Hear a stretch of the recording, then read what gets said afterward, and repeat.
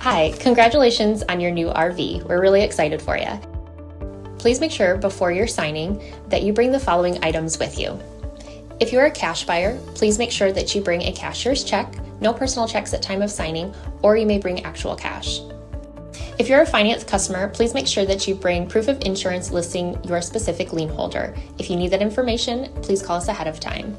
Also, make sure that you bring all valid driver's license of all persons that will be listed on the title. If you have a trade that you're trading in with us, please make sure that you bring your 10 day payoff as well as your title and all persons who will be listed on the title of that trade. Um, arrive 30 minutes early before your appointment time so we can properly inspect your unit and also make sure that you have the fridge on and running prior to arrival. If you have any questions, please feel free to give us a call at 810 686 0710. Thanks so much. Have a great day.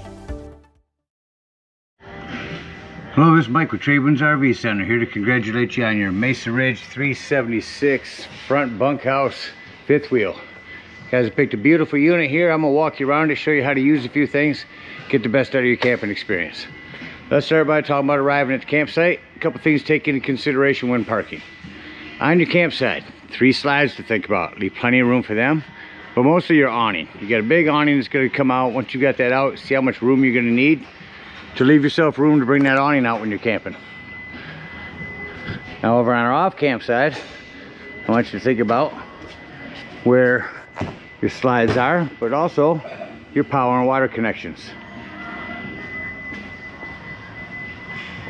Your power cord is going to plug in back here behind your rear tires on your driver's side of your tow vehicle. And then your docking station where water is going to be just behind, behind that. So park accordingly so you can utilize facilities at the campsite and you can get everything open and closed. Once you arrive, we're going to unhook our hitch. I'm turning this light on in here. This is your auto leveling system from Lippert. Lots of directions here, but the simplest is hold both arrows down at the same time to turn it on about three seconds lift it up and you get a green light. This you can bring up your hitch get your vehicle out of the way. Once your vehicle's out of the way all you're going to do is touch auto level. Auto level is going to bring up and down your landing legs up and down all of your stabilizing jacks until you hear this beep and that light will flash. When that's done you know your unit is level and stable. Once it's level and stable you can Tighten these down, these stabilizing strong arms. Just gives you a little more support inside. Make sure they're loosened before bringing up your legs. Once the unit's level and stable, we can go ahead and hook up our power and water. I got this big, long 50 amp cord. Where these plug in here, this pistol grip, is they come in to the left. Once it's in, turn it to the right, and then turn on this black washer. That'll hold it on. At the end of that 50 amp service, should you need to plug into a 30 at a campsite, you got a dog bone that's gonna bring you from 50 down to 30. And if you ever need to plug this into a 110, 30 down to 15 amp, you can plug into a 110, throw that on there. Just run appliances accordingly when running off 110. You don't want to pop a bunch of breakers. Got our power hooked up. Let's hook up our water. Now again, your docking station, power, hot water heater, docking station. They made it real simple here. At a campsite, This here will show how you're gonna set these three settings in order to run off different things. At a campsite, we're gonna run city connection. So we want our red to the left, blue down, black to the right, just as they are now. Water pressure regulator. This water pressure regulator is gonna reduce the water pressure to 40 to 50 PSI, protecting the lines in your unit. Always use this when hooking up here. Hook up your water pressure regulator hook up your hose. Make sure you set up for city but don't turn your hose on yet. Just to the left of that is going to be your hot water heater. All we're doing at this point folks is making sure our drain plugs in. May have left it out last time you were out camping. Uh, get that back in there nice and snug. Once that's in there tight you can go ahead and turn that hose on. After that hose has been on for a little while you can go inside and deploy your slides because you've already got your unit level and stable Deploy whatever slides you need to in order to get to your water. open up all of your water valves. Get all the air out of the lines. Once you get a steady flow of water, shut them off. And then you're all set to camp. Now, if we're gonna go dry docking, we're gonna go a different way. Now, once all the water lines are full, you can turn on this hot water heater from indoors. Now, if we're gonna go dry camping, we're gonna start with a tank fill. Everything to the right, fill in the same spot. Make sure your hot water heater is plugged. Don't leave this when filling this. The way to tell when this freshwater connection is full, go inside where you check your level of your battery and your black and gray tanks on your control panel. Hold that freshwater button down. That'll tell you when this is full. Do not leave it when filling it. Once that's full, remove your hose, put your cap on, and then in order to utilize that fresh water, you're gonna wanna turn on your water pump. Don't turn on your water pump when you're hooked up city-wise. That's already got water pressure. Once you have it on the tank fill, after your tank is full, you're gonna turn it right back to the same setting, which is pump, and then you'll turn on that water pump. Here's where you winterize and bypass for that. That's where it goes in at. You also have a hot and cold shower out here with a spray port right here in your storage. That'll connect out here. Again, your fresh and city water connection, depending on how you've got it set up. Two black tank flushes. Up here's where you hook up your cable and there's some 110. A docking light for arriving at night. Continue to show you around the rest of the unit. Our back area, black and gray tank dump will be right here. Again, your hot water heater. Power, this is the flue for your furnace. If you're running your furnace, uh, make sure nothing's ever blocking that and steer clear of it. It does get rather warm. Freshwater tank drain, all these will be able to better access low point drain and black and gray tanks. Better access with this slide closed. We talk about those when leaving the campsite. Over here is one side of your pass-through storage. Again, with your auto leveling system. This is a battery disconnect. This would disconnect all the battery power to the unit. That would come important later when I talk about your carbon monoxide propane detector inside. Also have your propane. Lefty loosey to open. That will pull out not on this side. I think the other side it pulls out. On the front.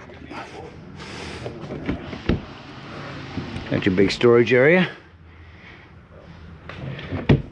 Prep for solar, you can plug in a solar panel here and that'll trickle charge your batteries. And this side here is your propane that will come out. Simply turn that to the left and pull this towards you.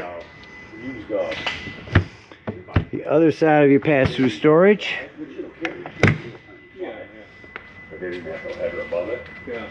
these are both access to the back of your fridge for techs. That is a vent for your microwave. Come down the side here. More storage.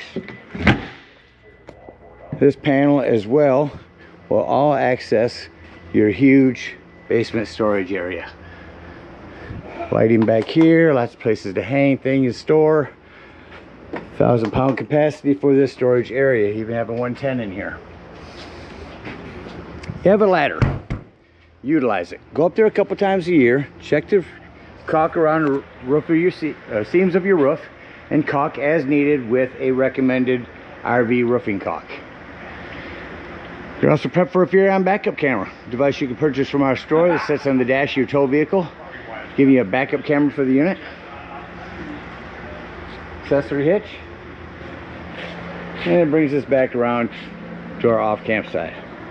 That about covers everything in here. Let's go take a look on the inside.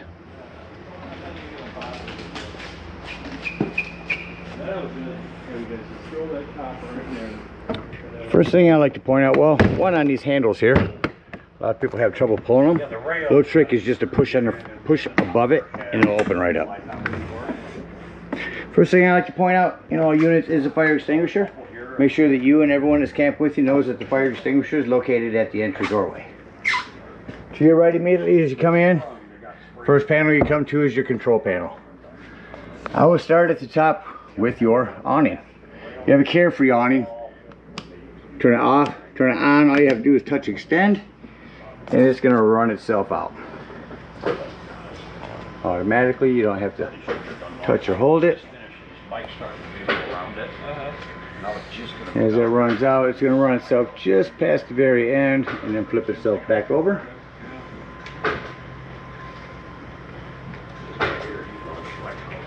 There's your LED lights.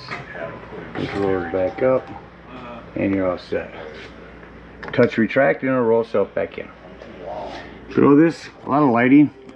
ODS, floodlight, porch light. Here's where you can check the levels of your tanks. Level alert will tell you if something's too full. Here's your brand new battery. There's your fresh water. That's your potable water. So black tank number two it's on right now showing empty. Make it number one and it checks it. And then your two gray tanks. Down here's all your slides. We'll utilize those when uh, bringing the slides back in. Here's where you turn on your water pump if you're using potable water. Two different ways to turn on your water heater. Over here if you're hooked up to gas. On the right if you're hooked up to electric. Choose correctly. Down below here we got some one-touch lighting. Touch control panel. Everything that I just did up here, you can do from here. All of your slides, your leveling, and your lighting. More accent lighting. Accent fan, you can hit raise to raise it up. Shut the fan off and bring it back down. Continuing into your unit now, self-explanatory microwave. Do you have a light and a high and low exhaust. Cooktop here has a panel light. That's your oven light on the right, panel light to the left.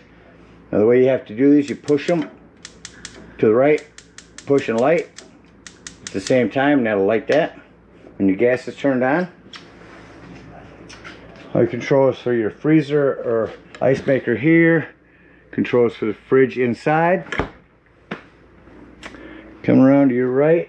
Before I do, I'll go around the island here. So do have some accent lighting on the island in the 110.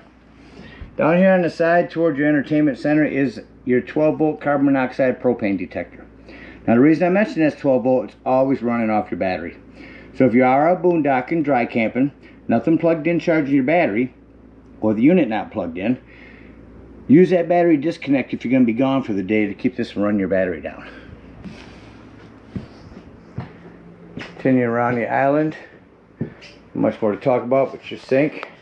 You have a little strainer area here. Entertainment center. Turn your TV on. While I turn it on, I'm going to tell you about the safety strap and hook this up. During travel, you have this strap. There's TV working. Shut that off. You do that, point toward the corner. The other end of the strap is underneath here. Make sure you strap this in for travel. Below that, your sound system. AM, FM, Bluetooth, auxiliary. See if we can pick up anything in this metal building. Uh, dual zoned. Shuts off indoors. Now it's just outdoors. Them both back on. Hold that in to shut it off. Fireplace, not just for looks. Uh, I can go through and make, make it brighter or dimmer, but the biggest thing is the heat.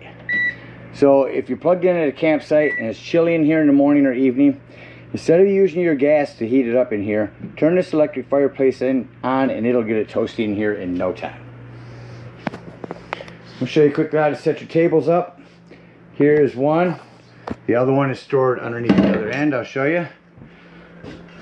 So you have a table and leg. On these legs, make sure you untwist this all the way to the left to give it a gap.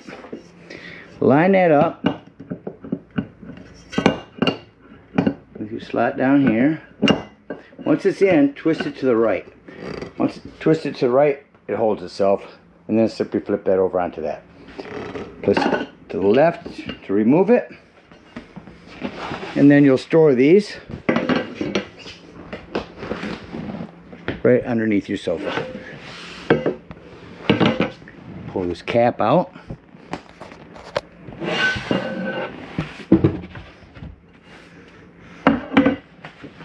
And then place the cap over that.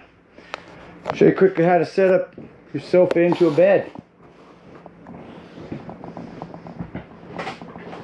So we remove your Velcro cushions. Three of them. Grab these straps. Lift it up and towards yourself. And then simply flip all these over. Push them down in the back. It gives you another bed. Flip these back up. Actually do this one-handed. Grab it. No, I guess you wouldn't. Need both hands so you can bring it up together. And there you go, back to a sofa. Emergency exit windows are clearly marked. You can take this, rip the screen out to get out. A lot of one-touch lighting in here. All these are one-touch, which is great because you can shut them off except for maybe one at night.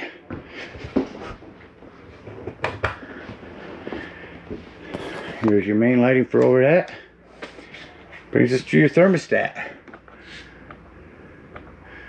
Turn the air on.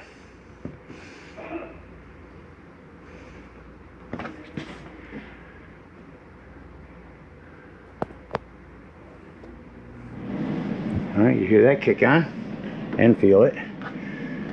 Shut the air off.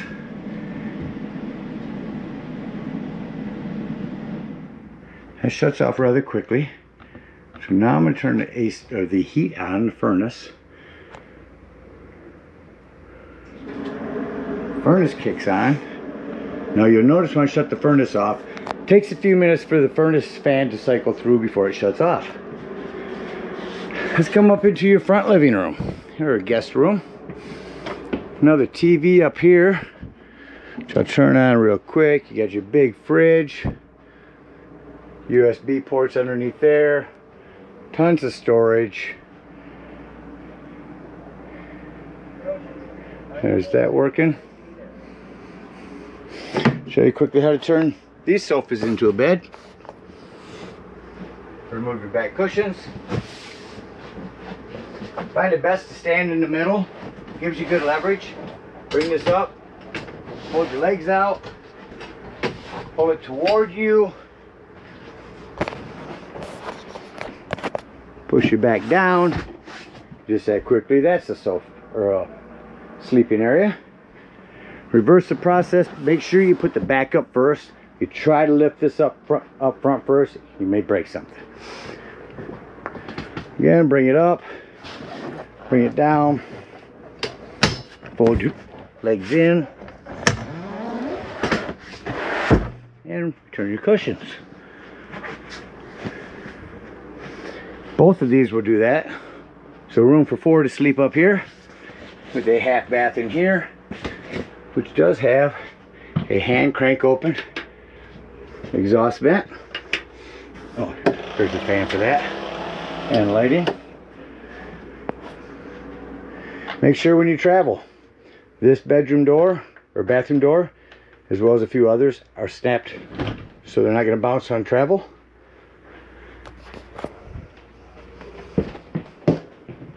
Continuing on, we'll go to the back bathroom. Hallway light here. In here you have two 110s with GFCI reset. Actually three. For travel. Make sure that your shower door is snapped closed. Over here you have a light and a fan. Hand crank open exhaust here. Oh, it's on auto off. Continuing into your bedroom. Got your big closet. Storage under the bed. Your separate thermostat. Kick air on back here. Shut that off.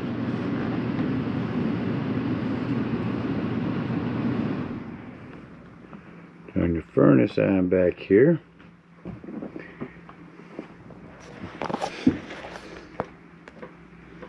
Again, another bathroom door to snap open. That might be warmer than 75 in here. Let's see if we can get that to come on back here.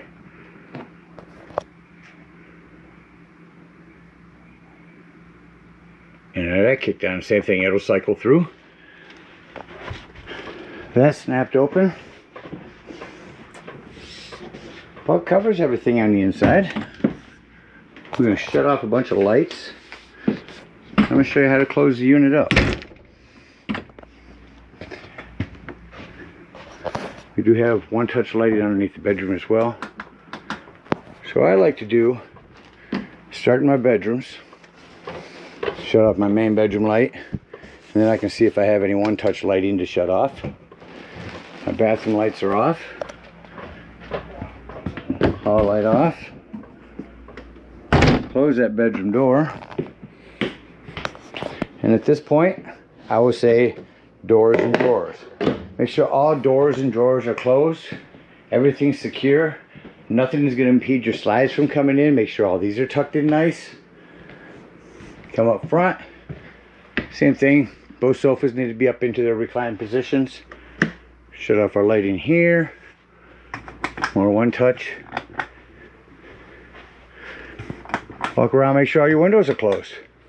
Just secure your unit very well. Now I'm to come to my control panel.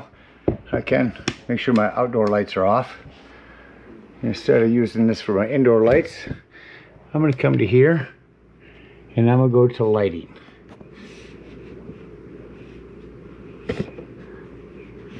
Security light off.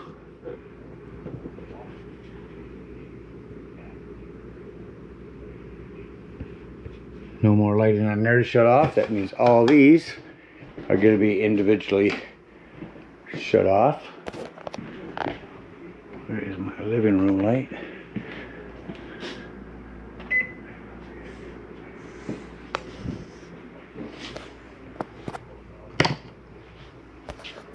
The accent light here. And this kitchen light. Now that I've gotten all my lights off, come back here and just turn on these ones so I can see what I'm doing here. Now, we'll come up here and utilize these slides. Slide number one is going to be your bedroom slide. I'm going to run that in.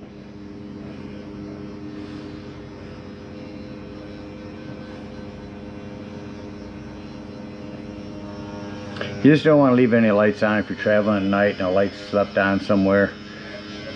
Make it pulled over. They may think someone's inside there. Second one's gonna be your living room. Third will be your right front room. Four and then five.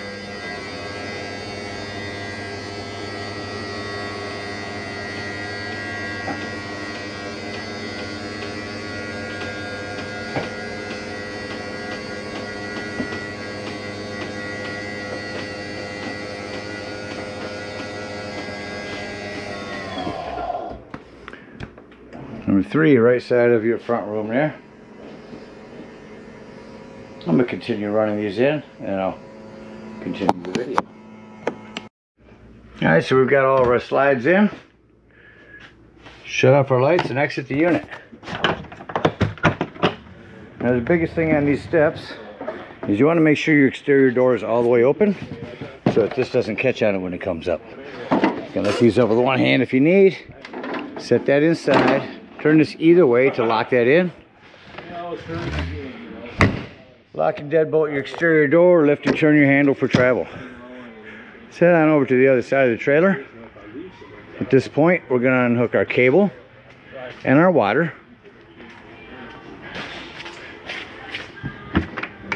We're gonna come inside, turn this back on again. And we're just gonna hit retract all. That's gonna bring up all of our stabilizing jacks. Once all of our stabilizing jacks are up, our water was unhooked, we're gonna dump some low point drains. Get up underneath there and dump both of those. If you are out dry camping, come on back here.